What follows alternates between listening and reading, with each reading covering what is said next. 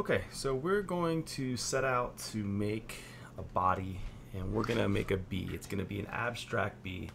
Um, so, you know, have some fun with it. Doesn't have to end up being a bee, it can be whatever you want.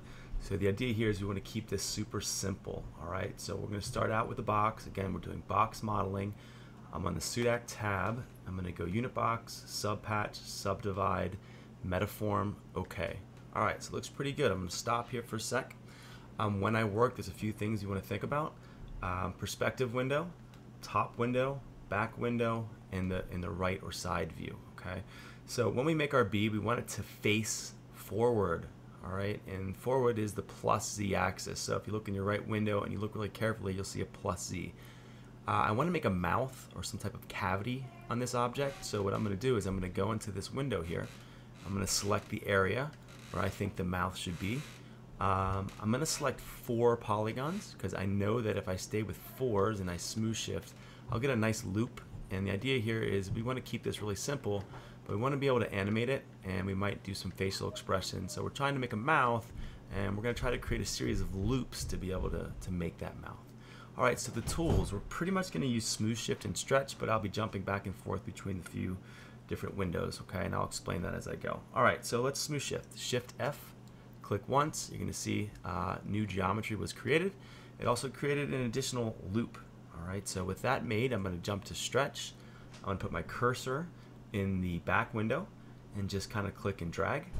Notice at the bottom of my screen, my mode is Action Center Selection. So I'll go back and forth between mouse and selection, but right now it's at, it's at selection. So a lot of stretching.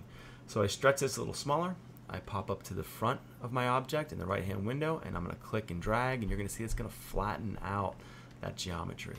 Alright, looks pretty good. So I need some more um, points or vertices so I'm going to smooth shift again. I'm going to click, release, H to stretch. I'm going to stretch that a little bit smaller and then I'm going to pull it a little bit flatter in this window and eventually I'll start to move this back. I'm not pulling it back super far, okay? Don't pull it back too far. Look at the distance of your squares, all right? Stay consistent. Don't make really long rectangles. Try to keep things square, all right? So I'll pull it back a little bit, but not a lot. And then I'm gonna smooth shift again, click, T to move and move that back. And I'll smooth shift again, T to move, move it back. And this will be the inside of my mouth, so I don't need to spend a ton of time here. I just, I want something so I can put teeth, maybe a tongue inside of this and uh, that's pretty good. So if I look at this, it doesn't look much like a like a mouth, um, but that's okay. It will. So I'm going to take a look in the perspective window and think about this for a minute. So this is the front of my object. Um, I need the corners of this thing's mouth to come back. So I have symmetry mode on, and I'm going to go ahead and hit my space bar to get into edge view. And you can see I selected like these edges right here. And what I'm going to do with those edges selected is I'm going to hit T to move, and I'm going to move this back a little bit. All right, so it looks pretty good. So you can see here, you know, if you use your imagination, this could definitely be a mouth. All right. Um, I think for this guy, I'm going to do one more thing. Uh, I'm going to take this loop right here, and I think I'm going to smooth shift it one time and then stretch it. So smooth shift, click, whoops, if you click and drag, sometimes it gives you that little error, so make sure you click and release. And I'm going to jump to stretch, and I'm going to stretch this smaller and maybe pull it out a little bit. Um, okay, so this is fine. I have a little mouth coming out. I might move it.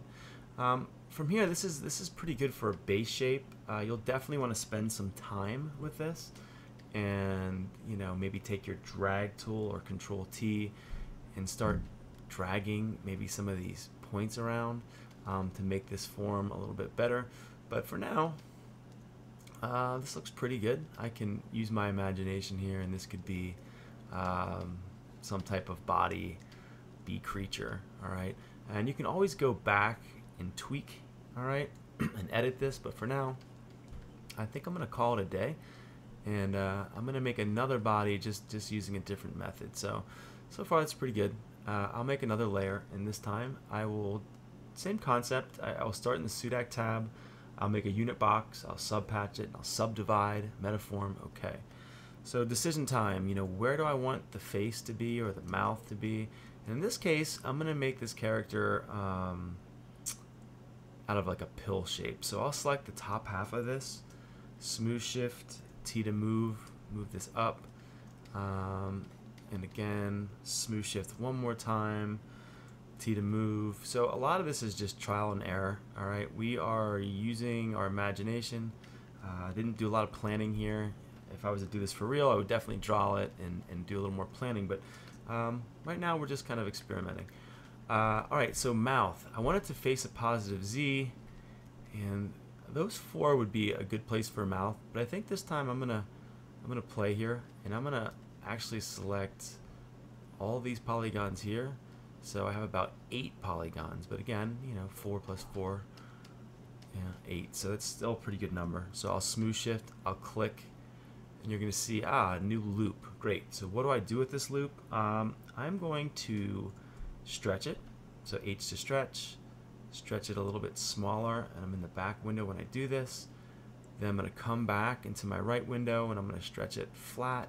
Looks pretty good. Again, I formed a little loop there, and I'm going to stop because I want to make sure that I have enough vertices here to hold that form. So next, I'm going to smooth shift one more time, click release, H to stretch. I'm going to stretch this back a little bit, stretch a little bit smaller. And I'm going to start moving this back and we're going to form an inside of our mouth here.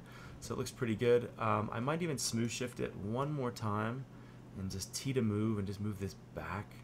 Looks pretty good. Again, I don't want to go too far. Um, so I'm stretching to try to make squares instead of rectangles.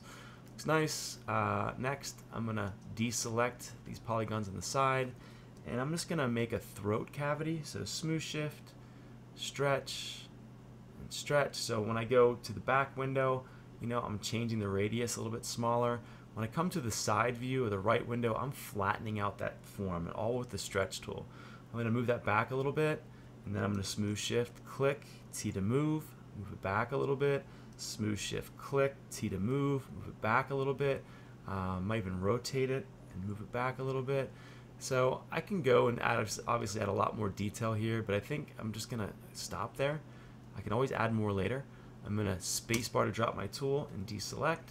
So this looks pretty fun. Um, I'm gonna do one more thing. I'm gonna go ahead and add another loop here. So select in a direction, hit your right arrow, and then smooth shift, click release, H to stretch, and then I'm just gonna stretch this down and pull it forward a little bit.